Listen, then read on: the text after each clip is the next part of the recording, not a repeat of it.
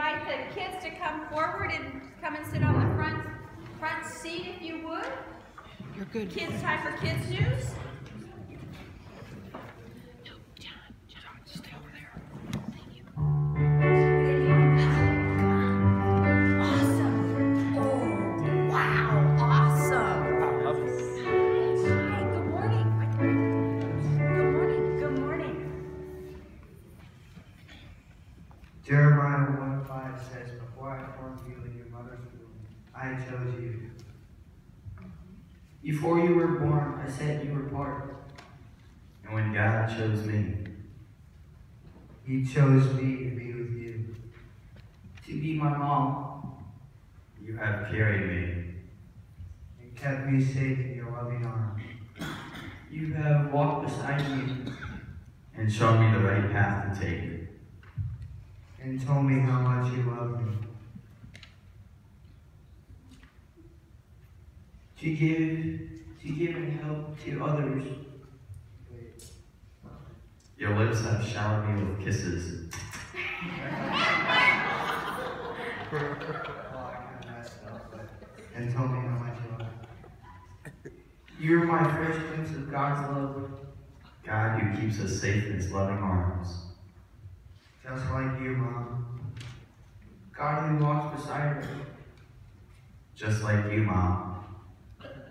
God who, whose greatest gift was to give us His Son. And I'm so glad He gave you to me, Mom. Because I love you, Mom.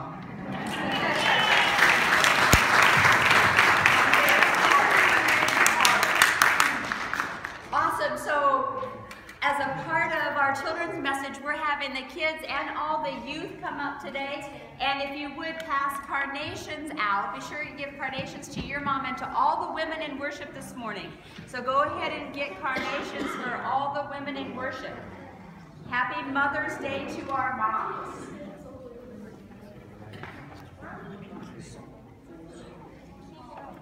Just save some for 11:30. I already have one.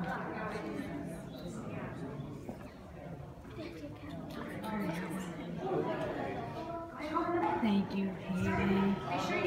Sorry, do you have one? I got one from last night. Thanks. We'll put it back in the bucket later. Yeah.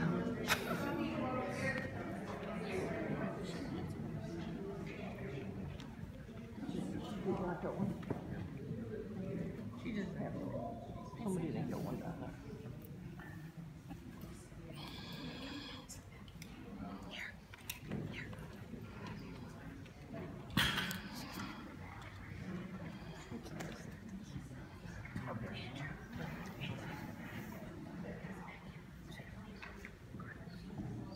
We continue with the reading of the lesson.